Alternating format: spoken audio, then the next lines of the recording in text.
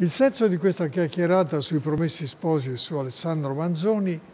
è di raccontarli come se fosse una storia che riguarda noi italiani di oggi. I Promessi Sposi sono stati scritti e abbozzati nei primi decenni e poi pubblicati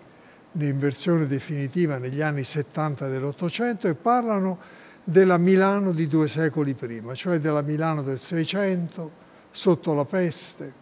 e può sembrare una storia confinata nel passato. In realtà la genialità del Manzoni è tale